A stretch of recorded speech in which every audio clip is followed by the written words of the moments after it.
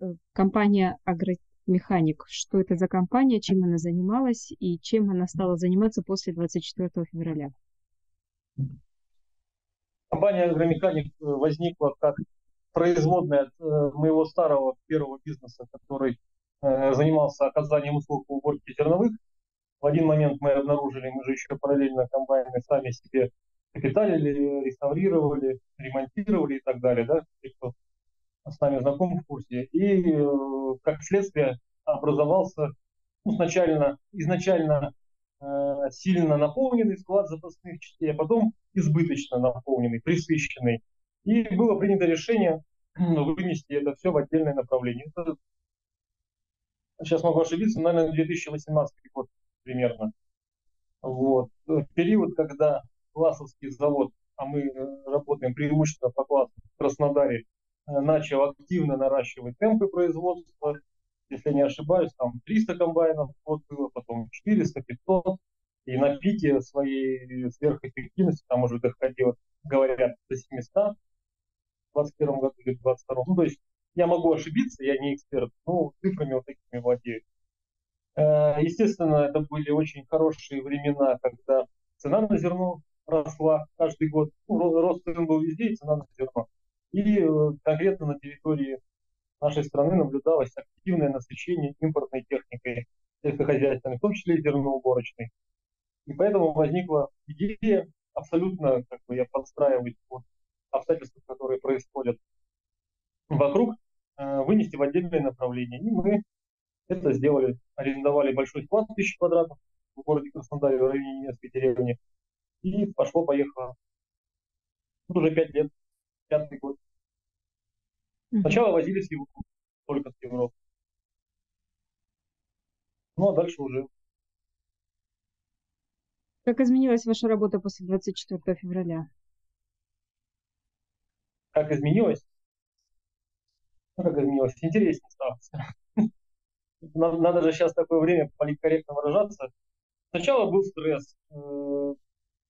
Э, Сначала, сначала, скажем так, была пауза, все думали, ну вот сейчас что-то как-то ну, куда-то а, примет какое-то объективное русло. Ну, люди же до последнего не верят в то, что все не так хорошо, как кажется.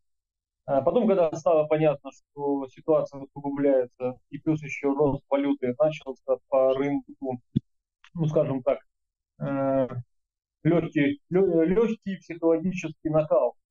Э, что я хочу сказать, это то, что были большое количество контрактов там, по поставке прицепной техники, тракторов импортных начали срываться. И, естественно, э, поставщики оповещали своих э, клиентов, и это уже начинало все приобретать лавинообразный характер, потому что мне посыпали звонки, а вы точно придете, а вы точно поставите. Я на том, в том году у меня было большое количество заказов по капитальному ремонту классов в или 11 или 12 штук. И мы все эти контракты закрыли, один комбайн не успели, и вот сейчас это отдаем его, один опоздали. Вот.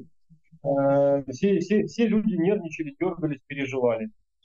Э, что еще можно отметить? Можно ответить срыв поставок, можно ответить неприятные заставки на сайтах импортных организаций, там No War, Top, Top War, Russian, там всякие э, террористические обвинения, то есть ты заходишь на сайт организации, которая тебе поставляет, надо еще иметь в виду, что э, в Европе много, э, испокон веков было много иммигрантов украинцев, и менеджеры, с которыми мы контактировали, это были люди украинского происхождения. То есть это все наложило такой сложный психологический момент.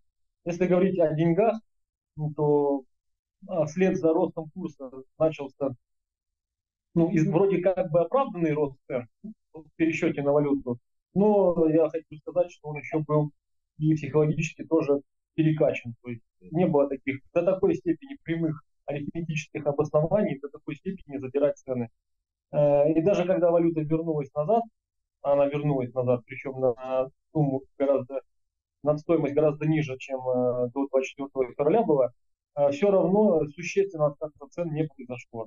То есть рынок запчастей подорожал. Угу. И усложнился, затянулся, стал долгим в плане поставок. Какие-то компании Это... напрямую вам говорили, что они отказываются сами сотрудничать? Ну, смотрите, у меня уже был логистический центр в Турции. То есть независимо от того, что случилось все эти события, он у меня был еще с 21 года. Я начал это делать. И в 22 году активно, скажем так, завершил. Цель была именно для того, скажем так, сконцентрированно с разных заводов возить грузы и отправлять одним, э, одним большим контейнером, ну, дабы выиграть на логистике. И плюс ко всему, э, если что, есть такой момент, когда с Европы привез и ошибся в каталожном, либо в размерах, уже вариантов вести назад нет. То есть, ну, все, ты либо купил ненужную деталь, либо купил брак там. Ну, если брак, то еще можно что-то решить, а если ошибся э, в размерах еще в чем-то, то это просто тебе остается в нагрузку. Э, вот э, исходя из этих двух соображений, экономия логистики и э, качественный анализ качества да, и соответствия, мы это сделали. И вот когда начались сбои поставок, там, начиная, давайте я буду просто по своей сфере говорить, там, по ремням, Априбелт, по ремням Кейс, э, это ведущие западные аналоги, да, на все, на все бренды техники они производят ремни. Э, плюс подшипники хорошего качества, не подделка, а сейчас рынок присвящен подделкам, а настоящего качества. Да, отсюда вот территории Турции мы, допустим, обращались, ну, конкретно в фирме СТФ в Швецию. Четко было сказано на отрез ни через ни одному дилеру, ни греческому, ни, ни, ни турецкому, ни стамбульскому, ни из Анкары нельзя выписывать э, счет-фактуру экспортную для дальнейшей транспортировки товара в Россию. Ну, вот такой пример могу произвести.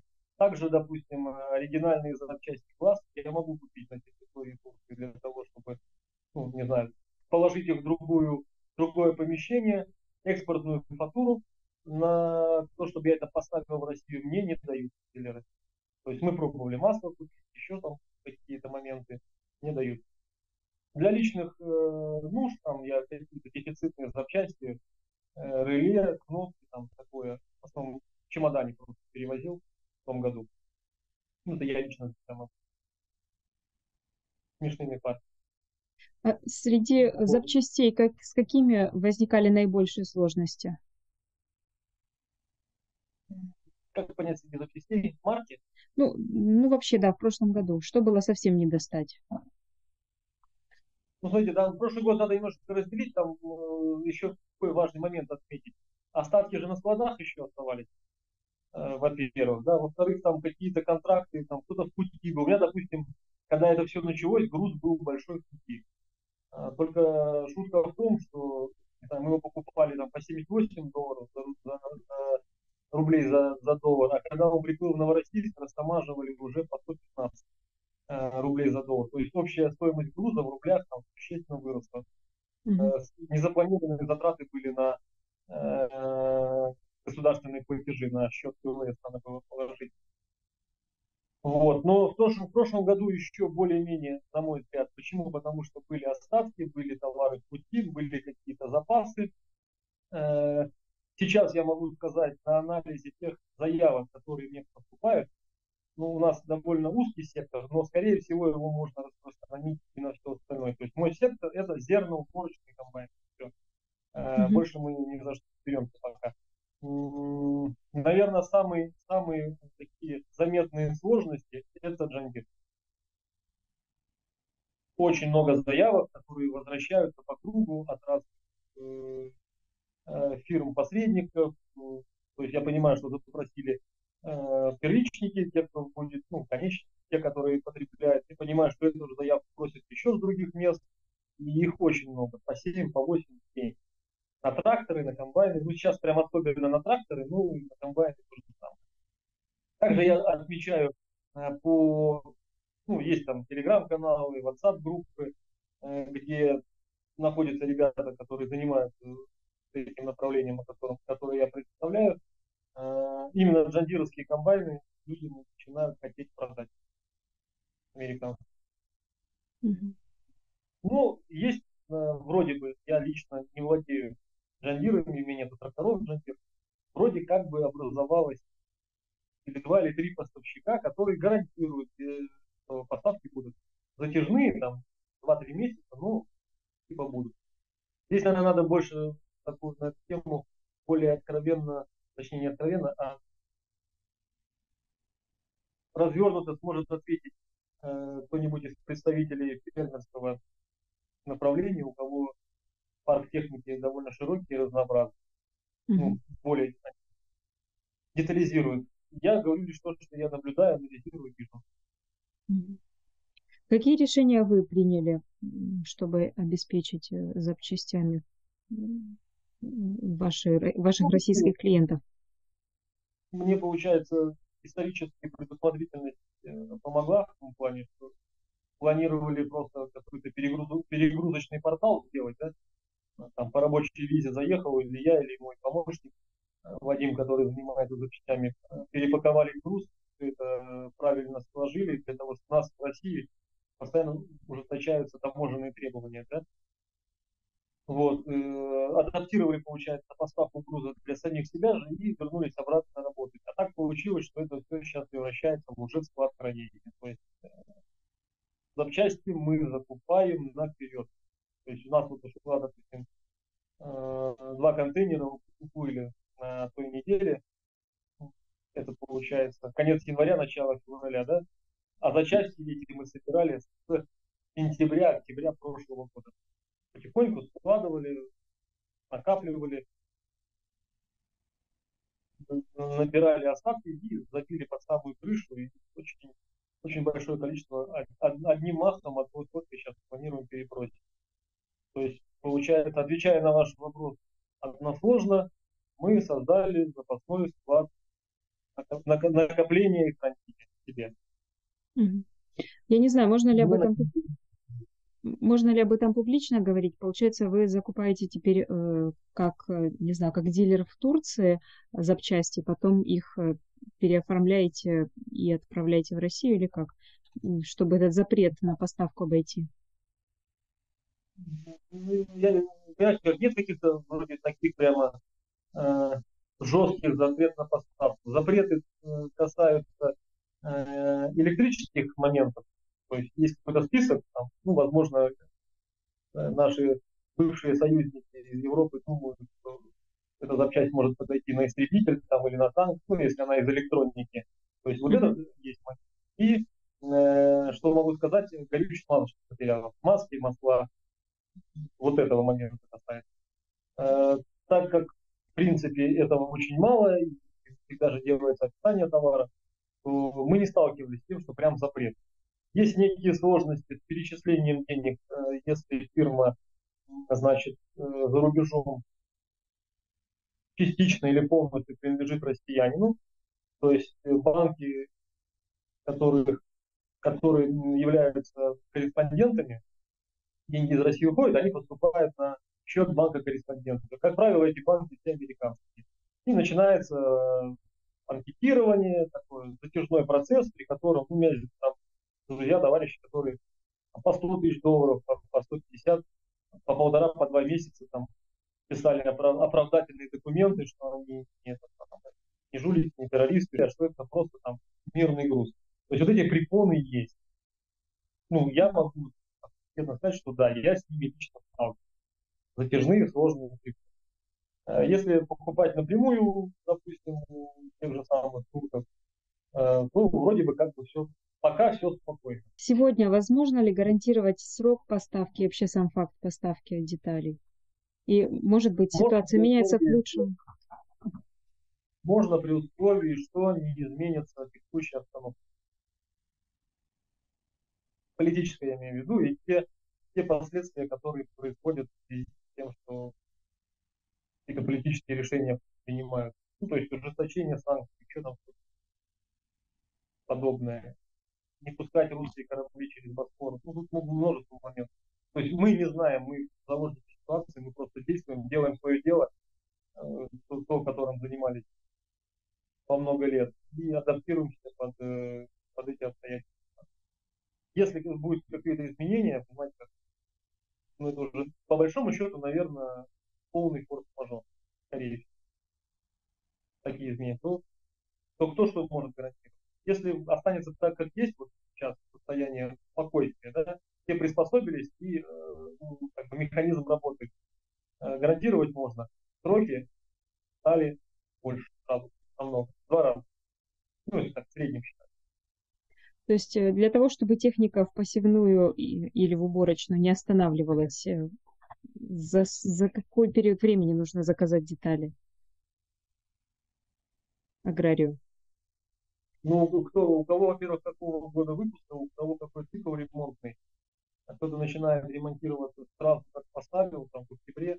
Я знаю ребята, интересы, которые дефектовки делают в октябре. Э, опытные, серьезные такие люди по 40, по 50 комбайнов. В октябре, в ноябре ставят технику, сразу делают дефектовку, сразу делают заказы. До Нового года все оплачивают и в январе уже получают. То есть это, это один а, подход. Есть люди, которые в мае только вспоминают про комбайн. Есть люди, у которых техника новая, там и вспоминать нечего. Вот его сделали и убрали около дома 200 гектаров. Там у каждого своя история. И, и человеку ответственному за этот момент нужно просто трезво взвесить все свои, ну, свое положение, свои риски и обязательно взять зарплату. Вообще всем. Ну, просто здравый смысл. В прошлом году, вот по разным статистическим данным, подорожали запчасти там как, какие-то на 50%, какие-то на 250%. Да. Что будет дальше с ценами? Сейчас они стабильны или нет? Будут ли дорожать детали? Будут ли они, наоборот, дешеветь там при определенных условиях? Как вы чувствуете? Слушайте, э, с одной стороны, хотелось бы, чтобы кто-то начал дешеветь, но пока уже который год, что бы ни произошло, рост валюты, снижение валюты, все равно все в лучшем случае перестает дорожать. То есть это вот так. Будет ли еще дорожать? Э, хочется спросить как бы в неизвестность, а куда уже еще дорожать? Но, но скорее всего э, будет такой если, опять-таки, не будет каких э, политических каких-то таких макро, макросерьезных э, стрессов, я думаю, в конце апреля, в течение мая, июня будет рост спроса, но он просто сезонный, он эффективный, он, он ежегодный, он традиционный, скажем так. Роман Николаевич, вопрос такой. Вы знаете всю эту ситуацию изнутри, с поставками запчастей, с закупкой запчастей, с оплатой запчастей. Какие можете дать рекомендации аграриям? Избавляться от зарубежной техники, покупать отечественную или сохранять технику? Что, как? Как действовать дальше?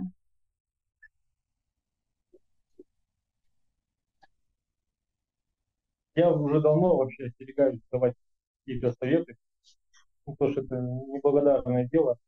Я думаю, что наши люди, не то что думаю, уверен, что именно наши люди вообще российские, особенно те, кто имеет советское прошлое, это самые адаптированные к непредсказуемости люди на планете. И те ребята, которые работают, дают результат, имеют старт, дают урожай, кормим пол планеты нашим урожаем, если уж на то пошло, то они сами знают, что им делать, сто процентов. Всегда во все времена был, был, знаете, как выруливал всегда все на здравом смысле. То есть посмотрим, посмотрим, к чему развернется.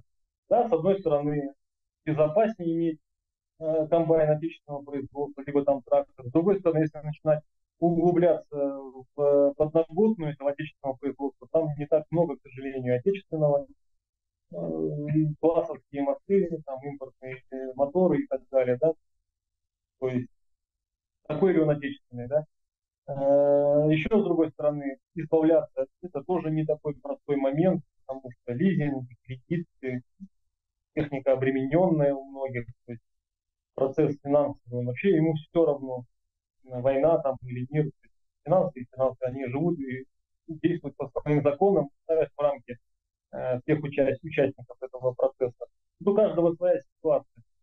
Ну, наверное, я бы только не то чтобы там посоветовал, одно держаться, ну, помогать друг другу, подсказывать, поддерживать, просто даже каким-то информационным обменом и вместе дружно хотеть скорейшего такого какого-то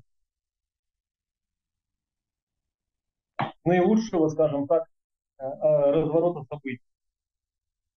А дальше, а дальше уже как решит Всевышний. Делать свое дело, и, как, как говорит один мой очень хороший знакомый, кстати, руководитель сельхозпредприятия, делай, что должен, а что будет, что будет. Вот, я думаю, что мы и делаем, что должны на своих местах.